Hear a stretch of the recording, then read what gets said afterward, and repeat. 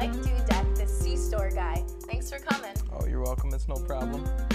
So, C-Store guy, why do you love the C-Store so much? Well, really, I love being there for all SUNY Fredonia students, helping them bag their groceries and scan their cards. Well, that's very nice of you. So, since you spend so much time in the C-Store, I'm sure you know a really healthy, delicious snack. Well, I don't eat healthy all the time, but when I do, fruit leather is where it's at. Comes in five delicious flavors, and for 75 cents, it's a bargain. Well, you guys heard it here first. That was the Raphy Report Snack of the Week.